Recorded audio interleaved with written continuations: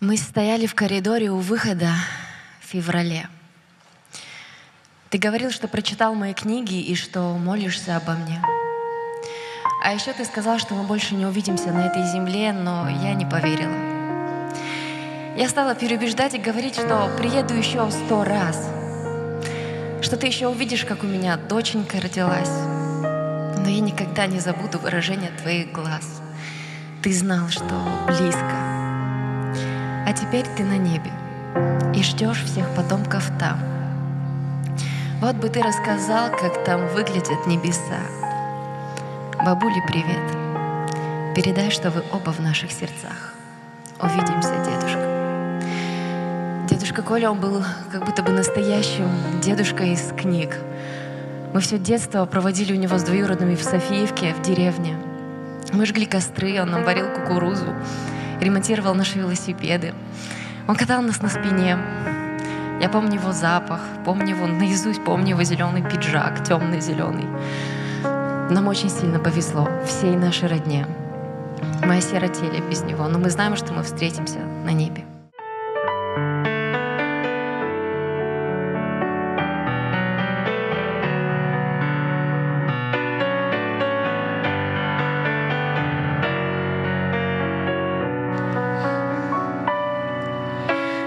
Наша жизнь — наша радость в Иисусе, наше счастье лишь в Нем, только в Нем.